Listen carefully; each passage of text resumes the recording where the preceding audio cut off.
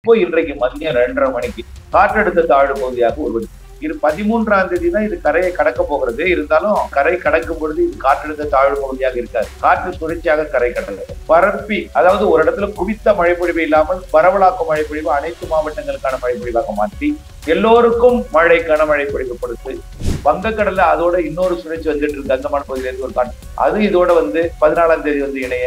அப்ப பதினாலாம் தேதி வந்து வங்கக்கடல்ல ஒரு காற்று சுழற்சி தமிழ்நாட்டு கரையோரம் கேரள கடலோரத்துல அரபிக்கடல் ஒரு காற்று சுழற்சி ரெண்டு முக்கம் ரெண்டு சுழற்சி இருந்து வரக்கூடிய பதினாறு பதினேழாம் தேதி வரைக்கும் இந்த மழை பிடிப்பு கொடுக்கும் போது அனைத்து மாவட்டங்களுக்கும். பதினெட்டாம் தேதி தென் மாவட்டங்களுக்கு மட்டும் பதினேழாம் தேதி வரைக்கும் எல்லா மாவட்டங்களுக்கும் இருக்கும் மழை.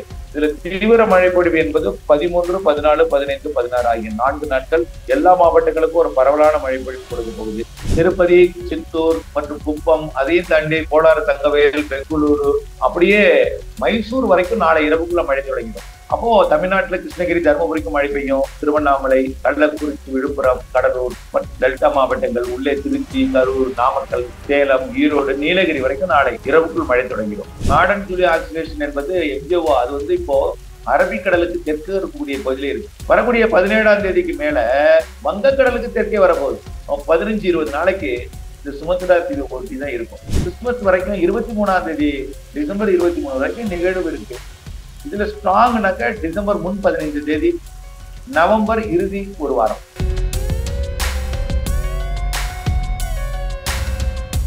ரியல் நேயர்களுக்கு வணக்கம். இன்று நம்மளுடைய நேர்காணலுக்கு வெதர் ரிப்போர்ட்டரான திரு செல்வகுமார் அவர்கள் இணைஞ்சிருக்காங்க. சார் வணக்கம் சார் வணக்கம் ஐயா வணக்கம். எப்படி இருக்கீங்க? நல்லா இருக்கும் சார் நல்லா இருக்கும். சொல்லுங்க சார் அடுத்த பதினைந்தாம் தேதி வரைக்கும் சென்னையை பொறுத்த வரைக்கும் ஒரு மூன்று நாட்கள் வந்து கனமழை அப்படின்ட்டு வந்து சொல்லியிருக்காங்க. அடிஷ்னலாக கொடுத்துருக்க ஒரு ரிப்போர்ட் வந்து இது வந்து ஒரு ட்ரைலர் தான் அப்படின்ட்டு வந்து சொல்லியிருக்காங்க. ஏற்கனவே சென்னை அப்படின்னாலே அதுவும் குறிப்பாக மழைனாலே ரொம்ப பயப்படுவோம். பயப்படுற மாதிரியான செய்திகளும் தொடர்ச்சியாக வந்துகிட்டு இருக்கு. என்ன சார் நடக்க போகுது? அதாவது ஏற்கனவே வங்கக்கடல்ல சில நாட்களுக்கு முன்பு உருவான காற்று சுழற்சி அடுத்தது இன்னொன்று வந்த காற்று சுழற்சி எல்லாம் ஒன்றிணைந்த சுழற்சியா தனித்தனியாகவும் இணைந்த சுழற்சியாலும் பிணைக்கப்பட்டு கரைக்கு வராம கடல்லையே ஆட்டம் போடும் நிகழ்வுன்னு நம்ம சொல்லி ஆட்டம் போட்டுட்டே இருக்கு. இப்போ இன்றைக்கு மதியம் ரெண்டரை மணிக்கு காற்றழுத்த தாழ்வு பகுதியாக உருவெடுக்கும். இந்திய வானிலை ஆய்வு நிறுவனம் அதாவது தமிழ்நாடு மண்டல அலுவலகம் அறிவிக்கிற ஆனால் இந்திய வானிலை ஆய்வு ஆய்வு நிறுவனம் வந்து காற்றழுத்த தாழ்வு பகுதி மதியம் ரெண்டு முப்பது மணிக்கு உருவாகின்றதாக அறிவித்து விட்டார்கள் ஆக இந்த காற்றழுத்த தாழ்வு பகுதியோட இணைந்த ஒரு காற்று சுழற்சி ஆந்திர கரையோரம் வரைக்கும் நீடிக்கும்.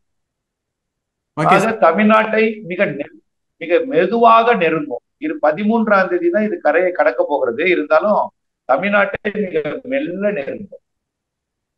இலங்கை மற்றும் மத்திய தமிழ்நாடு வழியாகத்தான் இது கரை கடந்து அரபிக்கடல் நோக்கி போக போகுது. ஆனா கரை கடக்கும் பொழுது இது காற்றழுத்த தாழ்வு பகுதியாக இருக்காது. காற்று சுழற்சியாக கரை கடக்கும்.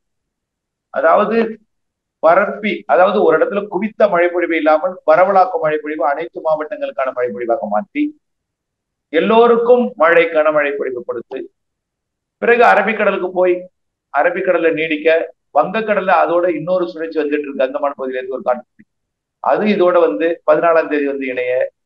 அப்ப பதினாலாம் தேதி வந்து வங்கக்கடல்ல ஒரு காற்று சுழற்சி தமிழ்நாட்டு கரையோரம் கேரள கடலோரத்துல அரபிக்கடல்ல ஒரு காற்று சுழற்சி ரெண்டு புக்கம் ரெண்டு சுழற்சி இருந்து வரக்கூடிய பதினாறு பதினேழாம் தேதி வரைக்கும் இந்த மழை பிடிப்பு கொடுக்கும் போது அனைத்து மாவட்டங்களுக்கும் பதினெட்டாம் தேதி தென் மாவட்டங்களுக்கு மட்டும் பதினேழாம் தேதி வரைக்கும் எல்லா மாவட்டங்களுக்கும் இருக்கும் மழை.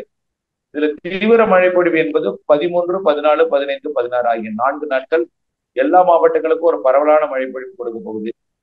ஆனா ஒரே நேரத்துல எல்லா இடத்துலயும் கொட்டாது. எல்லா மாவட்டங்களுக்கும் மழை இருக்கும். ஆங்காங்கே ஆங்காங்கே கனமழை மிதமான மழை சற்று கனமழை மிக கனமழை ஓரிடங்கள்ல அதிக மழை பொழிவு உண்டு. இப்படி மழை பொழிவு கொடுக்க போகுது. அதோட தொடக்கமா இன்றைக்கு இரவு சென்னையில தொடங்க போகுது. சென்னைன்னா நம்ம சென்னை மட்டும் இல்ல திருவள்ளூர் சென்னை செங்கல்பட்டு மற்றும் விழுப்புரம் புதுச்சேரி வரைக்கும் உள்ள வடகடலோர மாவட்டங்கள்ல இன்னும் சற்று நேரத்தில் ஒரு எட்டு ஒன்பது மணிக்குள்ள இன்றைக்கே தொடங்கும் போகுது. நள்ளிரவுக்கு பின் அதாவது பனிரெண்டாம் தேதி செவ்வாய்க்கிழமை அதிகாலை நல்ல மழை பொழிவை கொடுக்க தொடங்கிடும். காலையில நாளை காலை சென்னைக்கு கனமழை காத்திருக்கு. சென்னை மட்டும் இல்ல நாளை காலையில இருந்து மதியத்துக்குள்ள டெல்டா மாவட்டங்களுக்கும் பிறகு இந்த நிகழ்வால் நெருங்கி வர்ற காரணத்தினால இதோட வெளி சுற்று உள் மாவட்டங்களுக்கும் போய் மழை பொழிவை தொடங்கும் பெங்களூர் வரைக்கும் நாளை மழை பொழிவு தொடங்கிடும். திரு அதாவது ஆந்திர மாநிலத்துல விஜயவாடாவில இருந்து திருப்பதி சித்தூர் மற்றும் குப்பம் அதையும் தாண்டி கோலாறு தங்கவேல் பெங்களூரு அப்படியே மைசூர் வரைக்கும் நாளை இரவுக்குள்ள மழை தொடங்கிடும். அப்போ தமிழ்நாட்டுல கிருஷ்ணகிரி தருமபுரிக்கும் மழை பெய்யும். திருவண்ணாமலை கள்ளக்குறிச்சி விழுப்புரம் கடலூர் மற்றும் டெல்டா மாவட்டங்கள் உள்ளே திருச்சி கரூர் நாமக்கல் சேலம் ஈரோடு நீலகிரி வரைக்கும் நாளை இரவுக்குள் மழை தொடங்கிடும்.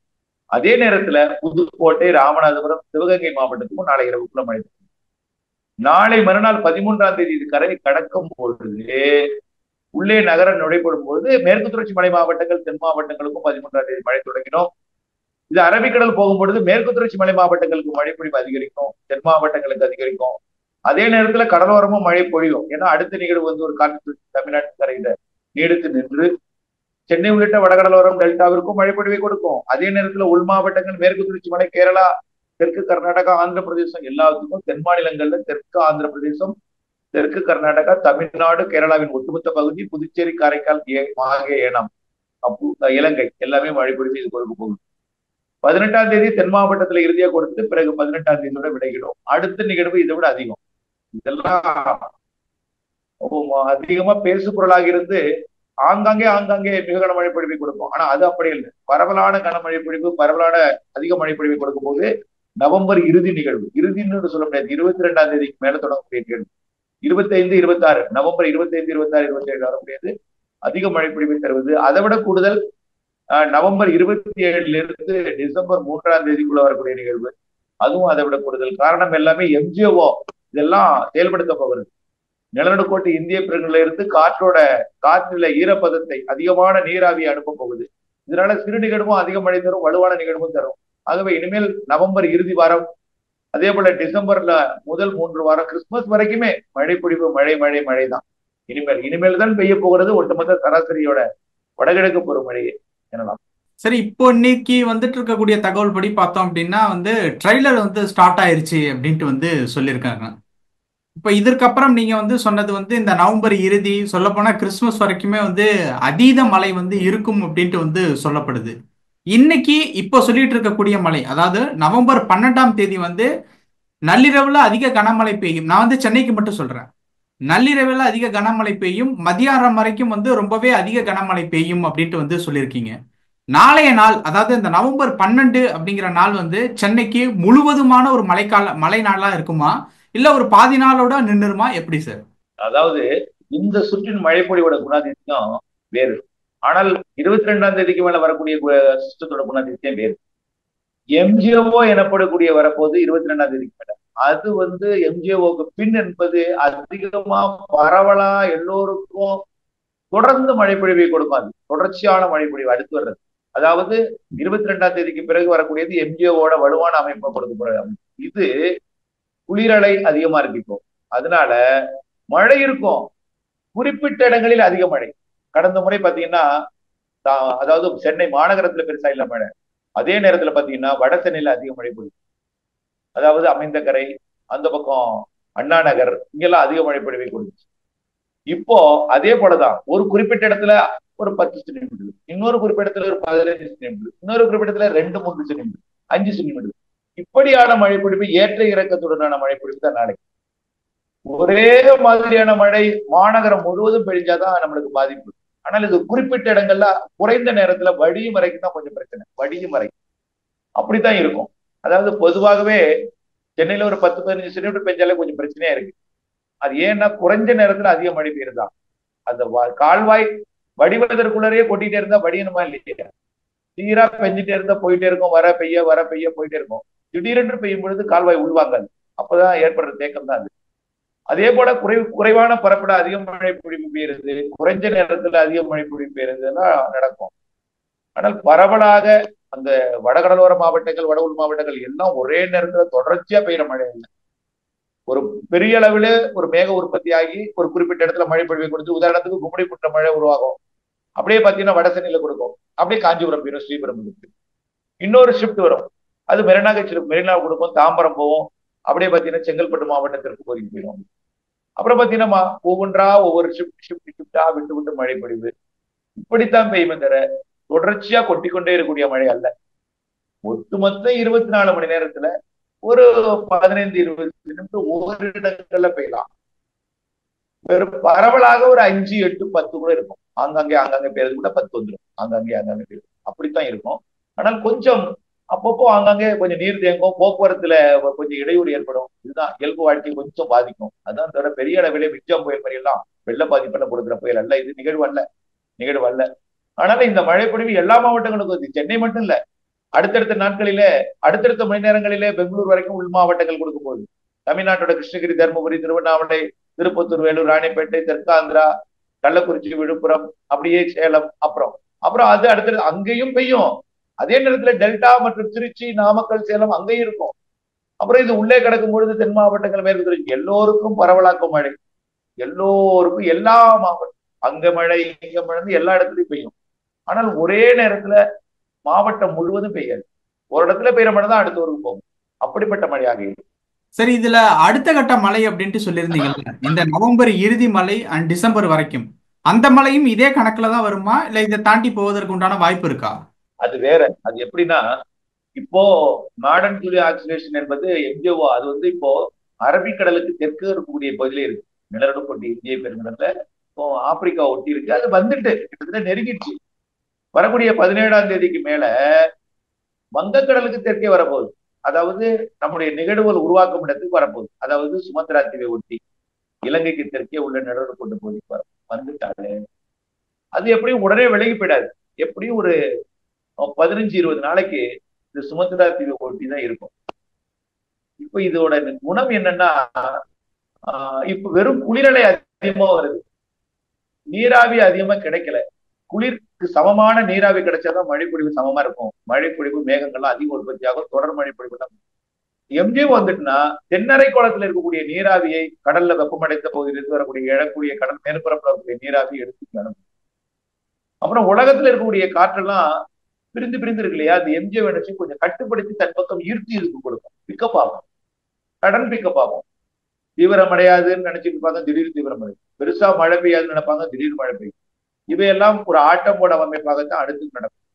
இருபத்தி ரெண்டாம் தேதி பதினெட்டாம் தேதி பத்தொன்பதாம் தேதியே சுமந்திரா வரையே உருவாயிடும். காற்று சுழற்சியா உருவாயிடும். இருபது இருபத்தி ஒண்ணு தேதிகள்ல கொஞ்சம் முன்னேறி வரும். இலங்கை அருகே இருபத்தி ரெண்டு இருபத்தி மூணு தேதிகள்ல வரும். இலங்கை அருகே வந்து இருபத்தி நாலு இருபத்தி ஐந்து இருபத்தி ஆறு இருபத்தி ஏழு தேதிகளில தமிழ்நாட்டு கரையோரமாக வந்து அனைத்து மாவட்டங்களுக்கும் பரவலான மழை பெய்யும். இது வந்து ஆங்காங்கே ஒதுக்கி ஒதுக்கி தான் பெய்யும்.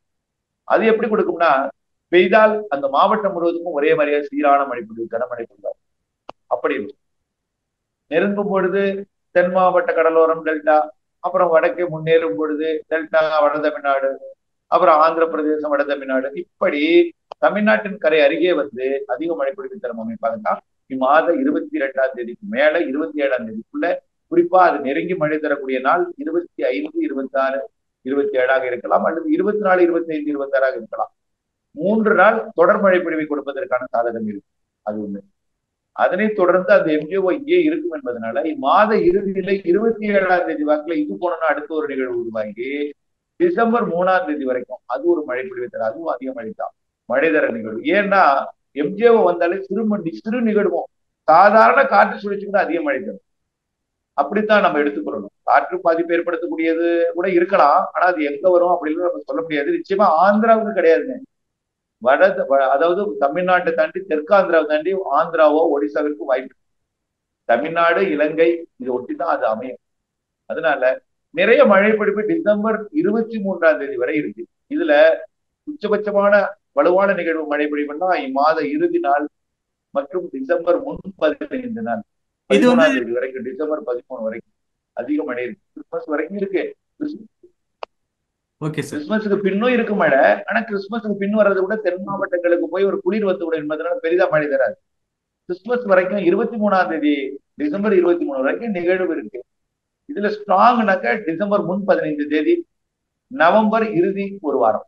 அப்படிதான் சரி இப்ப நீங்க சொன்னீங்கல்ல அந்த டிசம்பர் நவம்பர் இறுதி கிறிஸ்துமஸ் வரைக்கும். இந்த கணக்குகள் எல்லாமே வந்து தமிழ்நாடு முழுக்கையா இல்ல குறிப்பிட்ட ஒரு சில ஏரியாவுக்கு மட்டும் பொருந்துதா எப்படி சார் ஏன்னா அது சென்னை அப்படிங்கிறது தனி மலையா இருக்கு.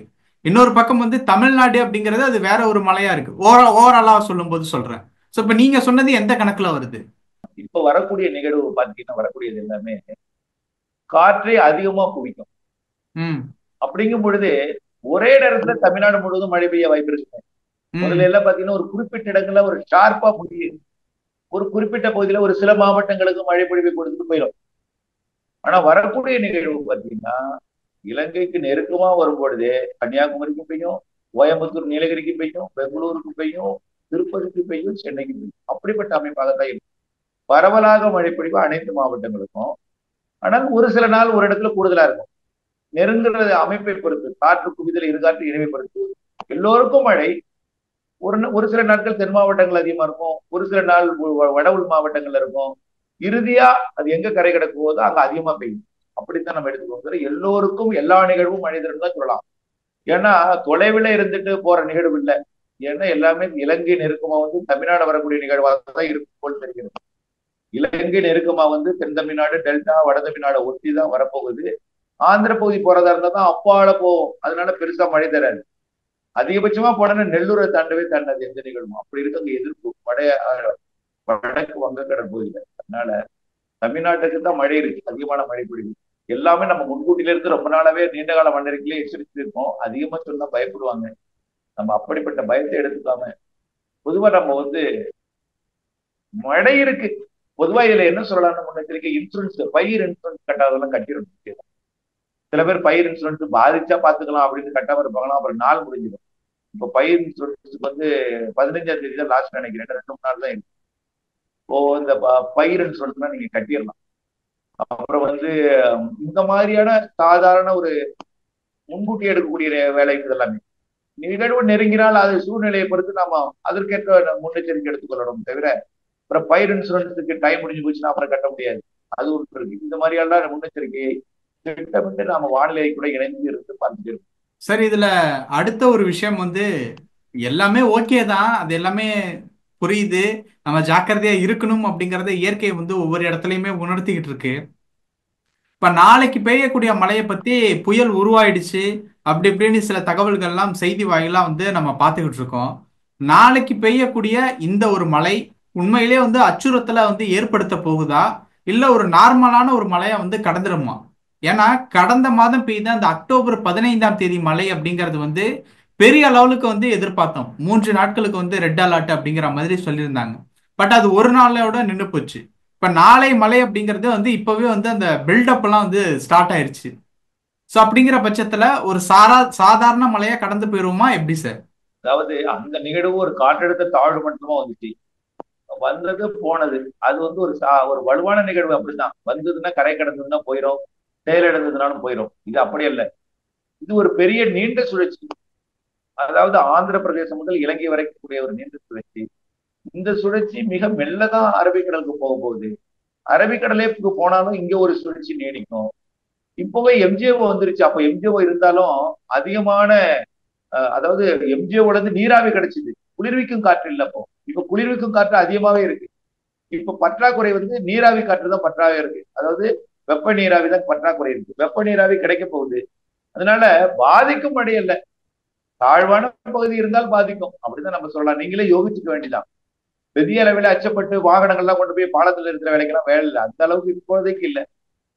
தாழ்வான போக்குவரத்து பாதிக்கும் அளவிற்கு இடையூறு ஏற்படுத்த வேண்டிய சப்வேல எல்லாம் தண்ணி புதுகிற அளவுக்கு சப்வேல இதெல்லாம் கூட போதுமே அதுதான். ஆமாப்பா சப்வேல தண்ணி போகாம இருக்குமா? எப்பொழுதுமே மேல பெஞ்ச தண்ணி கீழே போய் தான் நிற்கும் அது. திருவாரூர்ல கூட கடந்த ரெண்டு நாளைக்கு முன்னாடி பெஞ்ச மழை சபையில சிவப்பு கப்ப கொடி கட்டிட்டாங்க. பயங்கரமா சுத்தமாவே சபை மூடிடுச்சு. இதெல்லாம் பெரிதாக பேசப்படுறது இல்ல கிராமப்புறங்கள்லயோ அல்லது திருநகரங்கள்லயோ இருந்தா பெரிதா பேசப்படுறது மாநகரங்கள்ல இருந்தா தான் பெரிதா பேசப்படுது. அதெல்லாமே அதனாலதான் ஒரு ரெண்டு சென்டிமீட்டர் இருந்தாலே சென்னை மழை சென்னை மழைன்னு பெரிய கொடி கட்டியிருந்தாங்க. அதனாலதான் நம்ம வந்து மக்கள் ரொம்ப பீதியில இருக்காங்க. ஆகவே மழை வந்து சென்னைக்கு தேவைதான். செம்பரம்பாக்கம் ஏரி வேணும் நிரம்பணும் குழல்லாம் ஏரி நிரம்பினா தான் குடிநீர் ஆதாரம். ஆந்திர மாநிலத்தை போய் நம்பிட்டு இருக்க வேண்டியதில்லை. நம்ம மழையை கை கொடுக்கும். அதான் மழை வேண்டும். நாம தாழ்வான பகுதியில போய் எல்லாத்தையுமே ஆக்கிரமித்து நம்ம எல்லாம் வீடு கட்டிட்டு இருக்கும் பொழுது மழை பாதிப்பை கொடுக்குது ஆகவே இதெல்லாம் நம்ம வந்து மக்கள் மாற்றிக்கொள்ளணும் ஆனா மழை வேண்டும். வடகிழக்கு பருவமழை தான் தமிழ்நாட்டோட நீர் ஆதாரம். அதுவே அந்த காலத்துல பெய்யலன்னா நம்ம எப்ப பெய்ய போறோம்? அப்புறமா மழையில குடிக்க தெரியலன்னு சொல்லி நம்ம அப்புறம் அடுத்து கஷ்டப்படுவோம். அதுவே மழையே வரவேற்போம். முன்னெச்சரிக்கையுடன் இருப்போம் அப்படிதான் நம்ம சொல்லணும் தவிர மழை வருது மழை வருதுன்னு சொல்லி மழையே வேண்டாம்னு சொல்லி நம்ம தடுக்கிறதுக்கான காலம் குடிநீருக்கு தண்ணி மழை இருக்கிறது. தாழ்வான பகுதியில கொஞ்சம் நீர் தேங்கும் தான். ஏன்னா பத்து சென்டிமீட்டர் பெஞ்சாலே தேங்குது இல்ல பத்து சென்டிமீட்டர் பதினஞ்சு சென்டிமீட்டர் பெய்யும். தாழ்வான பகுதியில நீர் தேங்கும். ஒரே நேரத்துல மாநகரம் முழுவதும் பெய்யாது. ஏற்ற இறக்கத்துடன் தான் இருக்கும். அருகருகே ஏற்ற இறக்கம் தான் இருக்கும். ஒரே மாதிரி இருக்காது எல்லாருக்கும் அது மாதிரிதான் இருக்கும். ஆங்காங்கே ஒரு சில இடங்கள்ல பதினஞ்சு பத்து ஒவ்வொரு இடங்கள்ல இருக்கலாம். ஆனா எல்லா நாளுமே சென்னைக்கு தான் கிடையாது. எல்லா மாவட்டங்களுக்கும் மழை பரவலா போகுது. நீலகிரி வரைக்கும் கேரளா கர்நாடகா வரைக்கும் பெய்ய போறதுனால எல்லா மாவட்டம் டெல்டா டெல்டா உள்பகுதி மத்திய மாவட்டம் எல்லாருக்குமே மழை கிடைக்கும். கடந்த ஆண்டு மாதிரி இந்த ஒரு ஆண்டும் ஒரு சிக்கலான ஒரு ஆண்டா ஏற்படுத்தமா ஏன்னா கடந்த ஆண்டு வந்து மிக்ஜான் புயல் வந்து பெரிய லெவலுக்கு வந்து ஒரு பரபரப்பையே ஏற்படுத்திட்டு போயிருச்சு. அந்த மாதிரி இந்த ஆண்டும் ஏதாவது காத்துக்கிட்டு இருக்கா? எப்படி? அதாவது நிகழ்வு இருக்கு. நிகழ்வு எங்க வரும் எப்படி செட்டிங் ஏற்படுங்கிறது சொல்ல முடியாது. ஆனா நிகழ்வு இருக்கு. நிகழ்வு இலங்கையை ஒட்டி டெல்டாவுக்கு வருமா? அல்லது இலங்கையை தொட்டுட்டே டெல்டாவை தொட்டுட்டே சென்னைக்கு வருமா? அல்லது நேரடியா வட தமிழ்நாட்டுக்கு வருமா? அல்லது இலங்கையை கடந்து டெல்டாவை கடந்து உள்நா மாவட்டங்களுக்கு போகுமா? அப்படிங்கிறது சொல்ல முடியாது. எல்லோருக்கும் மழை இருக்கு சராசரிக்கு கூடுதல் மழை இருக்கு.